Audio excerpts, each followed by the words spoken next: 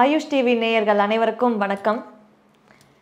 இன்னைக்கு நம்ம பார்க்கக்கூடிய டாபிக் மென்ஸ்ட்ரல் கேர் அதாவது ஒரு பெண் மாதவிடாய் காலங்களில் என்னென்னலாம் பார்க்கணும் எப்படி தன்னை கேர் பண்ணிக்கணும் அப்படிங்கிறது தான். தன்னை எப்படி தனக்கு தானே என்ன விஷயங்கள் நடக்கிறதுங்கிறத எப்படி என்னென்னலாம் தெரிஞ்சுக்கணுங்கிறத பார்க்கலாம். இதில் முக்கால்வாசி பெண்களுக்கு நார்மலாக வரலாம்.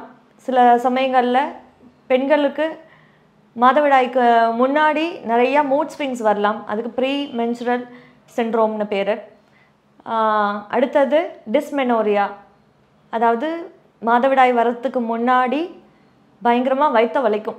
சில பேருக்கு வயிற்று வலி பொறுக்க முடியுமா இருக்கும். சில பேருக்கு வயிற்று வலி எந்த காரியத்தையும் செய்ய முடியாத அளவுக்கு இருக்கும்.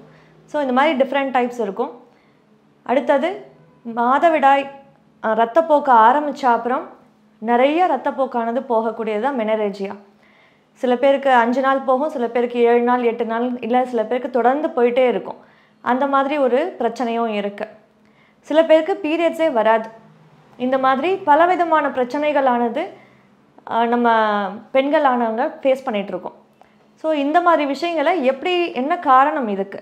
எப்படி இதெல்லாம் நம்ம சரி பண்ணுறது அப்படிங்கிறது பார்க்கலாம். இதுக்கு காரணம் முக்கியமான விஷயம் என்ன அப்படின்னா இன்றைக்கி உட்காந்துட்டே இருக்கிறது மட்டும்தான் பிரச்சனையே.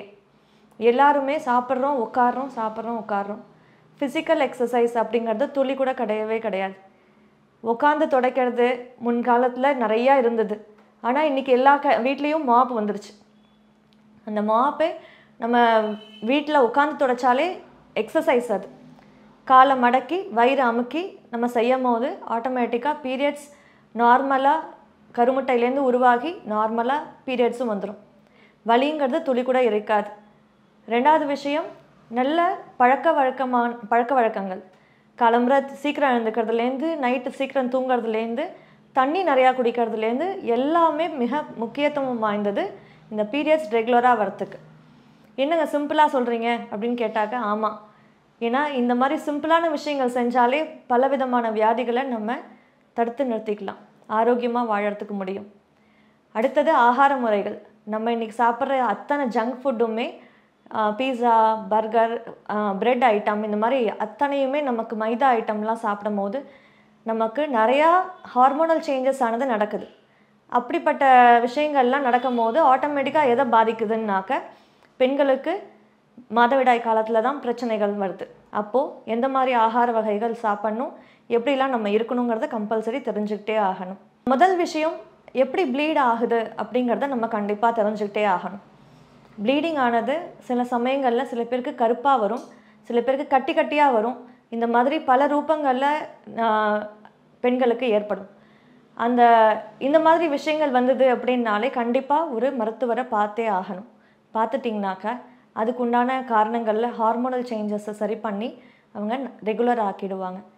அந்த மாதிரி எந்த சமயத்தில் டாக்டரை அட்ர அட்ரஸ் பண்ணணும் அப்படிங்கிறத கம்பல்சரி தெரிஞ்சுக்கிட்டே ஆகணும்.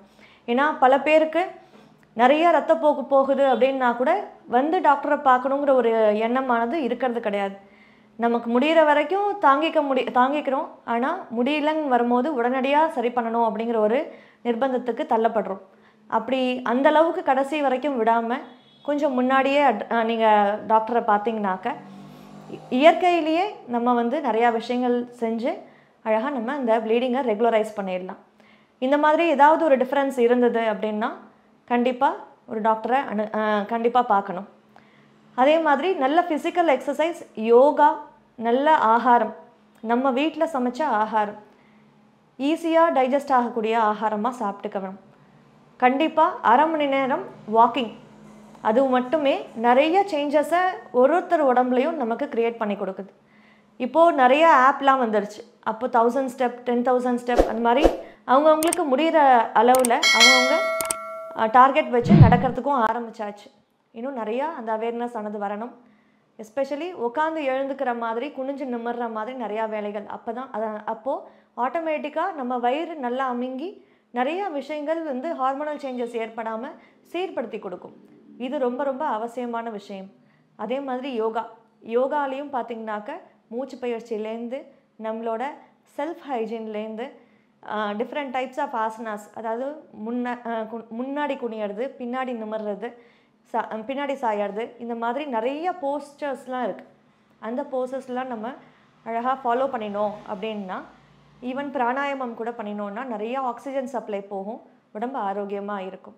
இந்த மாதிரி பல விஷயங்களை செஞ்சு நம்ம ஆரோக்கியமாக வாழ்க்கை வாழலாம். நன்றி.